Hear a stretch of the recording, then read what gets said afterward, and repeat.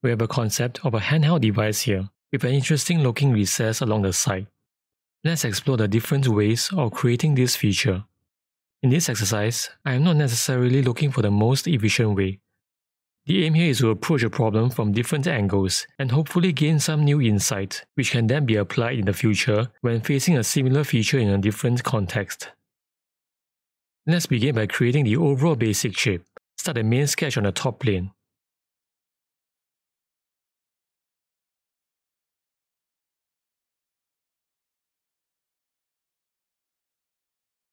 Perform a symmetrical extrude with an overall thickness of 20 mm.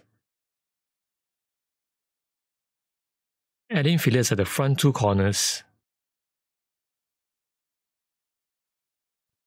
Make a full round fillet at the back.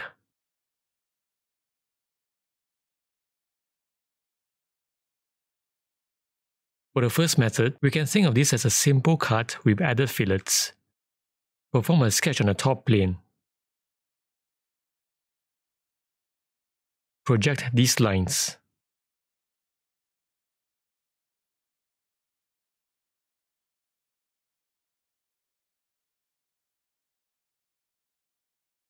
The plan is to create an offset and close out the ends to form a profile. At this moment, the endpoint of the projected line is in line to the tangent of the fillet. If we go on to do the offset and perform the extrude followed by a fillet, the resultant cut will not be concentric with this face. So we need to adjust this endpoint. If we hover the cursor over the point, the project constraint pops up. We can select and delete that constraint. Now we are free to move this point. I have calculated the dimension that would achieve the correct end result.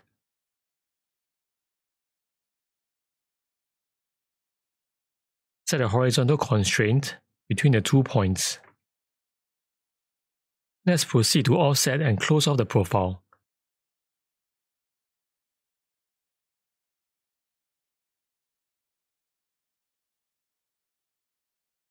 Use this profile to perform a symmetrical extruded cut.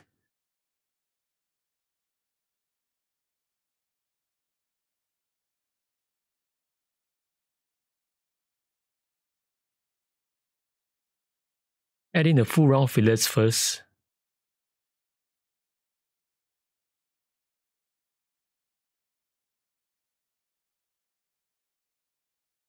Before adding fillets to this face.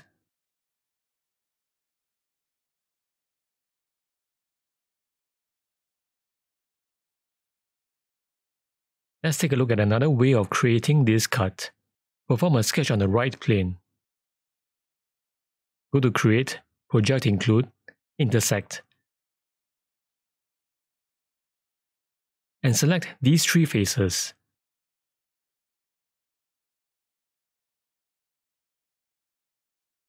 This produces entities that are a result of the intersections between these three faces and the sketch plane. Create an offset of these lines.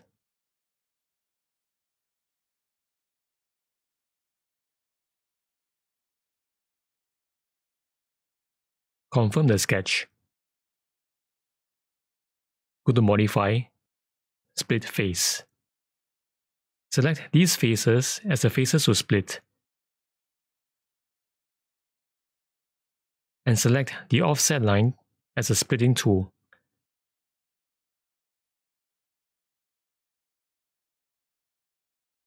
Go to Modify, Offset Face. Select the newly created split faces and set an offset distance.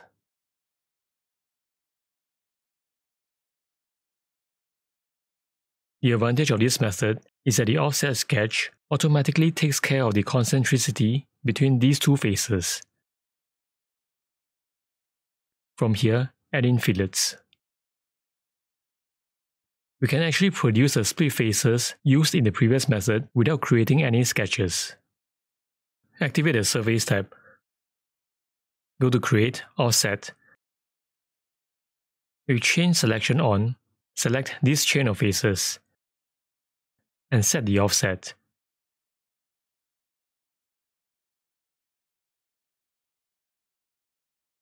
If we hide the body, we can see the offset surface.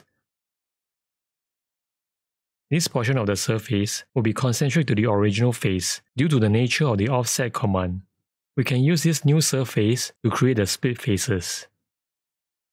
Go to Modify, Split Face. Select the faces to split.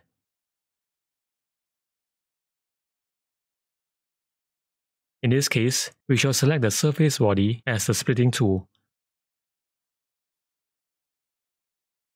Hide the surface body. From here, activate the Solid tab and use the Offset Face command to offset the split faces and follow the same steps as in the previous method.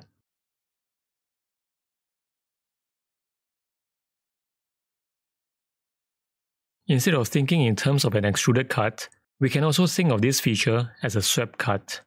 Let's go back to the sketch we did in the very first method before the offset. For this method, we do not need to adjust these two points. This sketch will serve as a sweeping path. Activate the Solid tab. Go to Create, Pipe. You can think of the pipe command as a sweep command with ready-made profiles. Select the sketch line as a path. Set a circular cross-section and adjust the section size. Set the operation to cut. We still need to contend with the flat face here. We can simply revolve this semicircular face using this edge as an axis. Go to Create, Revolve.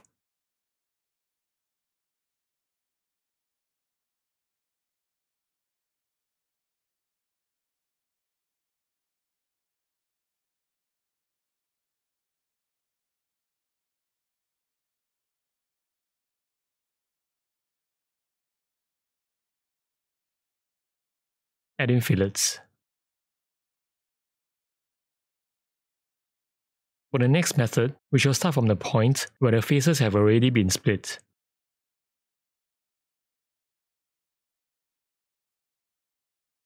We need to create an additional split line. Select this face to split. And select the top plane as the splitting tool. We shall perform a revolved cut of this profile about this axis.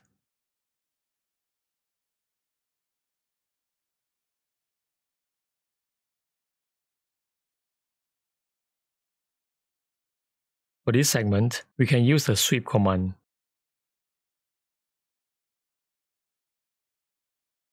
Select this as a profile, and select this chain of edges as a path.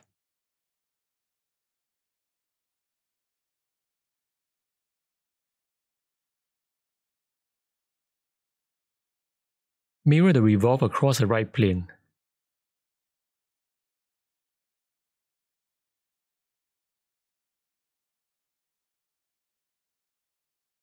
Adding fillets. For the last method, let's do a bit of reverse engineering on the final model. Let's perform a sketch on the top plane. Go to Create, Project Include, Intersect.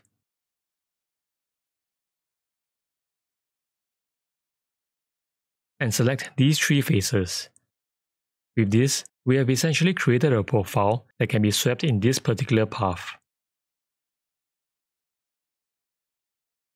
This profile consists of a short straight line and two arcs.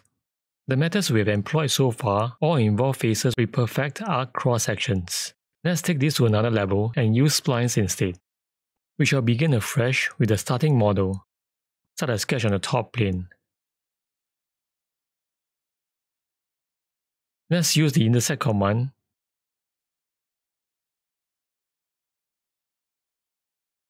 to create an anchor point.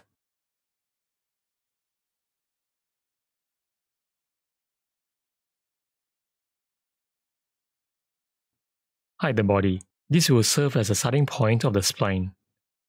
Let's use a fit point spline. snap one end of the spline to this point and end the spline roughly around here.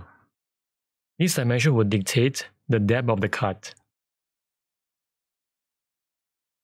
While this dimension ensures that the swept cut will be concentric to the outside face.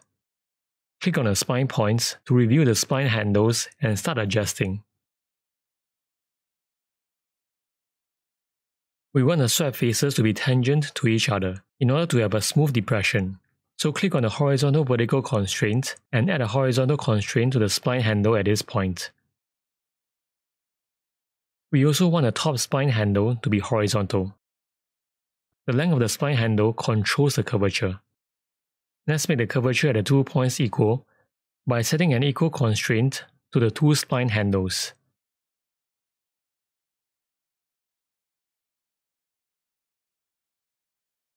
Close up the sketch with two straight lines to form a profile.